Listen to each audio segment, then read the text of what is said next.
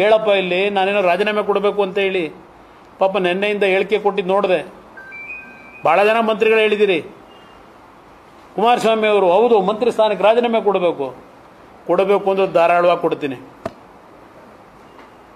ನಿಮ್ಮ ಥರ ಈಗೇನು ಸ್ಯಾಂಕ್ಷನ್ ಆಗಿದೆ ಗವರ್ನರ್ದು ಆ ಸ್ಯಾಂಕ್ಷನ್ ಆಗಿರೋದನ್ನ ತಪ್ಪು ಅಂತೇಳಿ ಏಕವಚನದಲ್ಲಿ ಓ ಕೃಷ್ಣ ಬೈರೇಗೌಡರು ಮಹಾನ್ ಸುಸಂಸ್ಕೃತರು. ನೋಡಿದೆ ಭಾಷಣ. ನೋಡಿದೆ ಭಾಷಣ. ಏನೇನು ಪದ ಬಳಕೆ? ಗವರ್ನರ್ ಮೇಲೆ. ಸಂವಿಧಾನದ ಬುಕ್ ಬೇರೆ ಇಟ್ಕೊಂಡು. ಏನು ಪ್ರದರ್ಶನ? ಇವತ್ತು ಒಬ್ಬ ಗವರ್ನರ್ ಕೊಟ್ಟಂತ ಪ್ರಾಸಿಕ್ಯೂಷನ್ ಪರ್ಮಿಷನ್ಗೆ ಇವತ್ತು ಯಾವ್ಯಾವ ಮಟ್ಟಕ್ಕೆ ಗವರ್ನರ್ನ ಆ ಒಂದು ಸ್ಥಾನವನ್ನು ಇಳಿಸಿದ್ದೀರಿ ಸಂವಿಧಾನ ಹೆಡ್ಡನ್ನು ನಾಚಿಕೆ ಆಗಬೇಕು ನಿಮಗೆ. ಇದೇ ಕುಮಾರಸ್ವಾಮಿ ಎರಡು ಸಾವಿರದ ಹದಿನೆಂಟು. ಮನಸ್ಸು ಮಾಡಿದರೆ ಇವೆಂಥವ ಕೇಸ್ಗಳು ಇದ್ವಲ್ಲ ಇವೆಲ್ಲ ಮುಚ್ಚಾಕಿಸ್ಲಿಕ್ಕೆ ಆಗ್ತಿರ್ಲಿಲ್ವ ನನ್ನ ಕೈಲಿ?